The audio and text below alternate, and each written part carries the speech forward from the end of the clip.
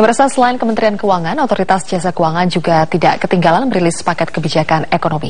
Kali ini OJK fokus pada deregulasi untuk perbankan syariah. Ada dua jenis aturan yang dideregulasi. Pertama adalah relaksasi pengeluaran produk syariah. OJK akan menyederhanakan perizinan untuk produk syariah. Jadi, bank atau unit usaha syariah tidak perlu mengurus perizinan yang panjang, tetapi hanya melaporkan saja. Karena produk syariah sudah terkodifikasi, relaksasi juga diberikan untuk produk gadai emas syariah.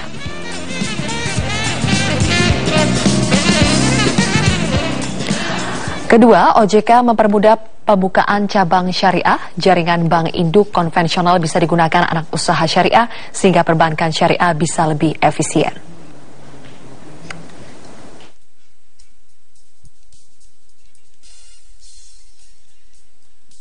Saja ya ini yang yang penting dan kodifikasi ini sudah kita siapkan sehingga dengan demikian uh, perbankan syariah yang ingin mengeluarkan produk-produk baru pada dasarnya tinggal lapor saja kira-kira seperti itu. Nah, demikian juga produk-produk lain yang terkait dengan kegiatan pegadaian, terutama gadai emas yang dilakukan oleh perbankan syariah.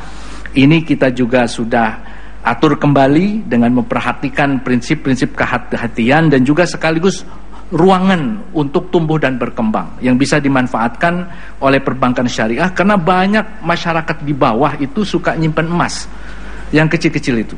Dan kadang-kadang tentu saja emas ini bisa membukakan akses keuangan. Terasa untuk memperkuat bisnis minyak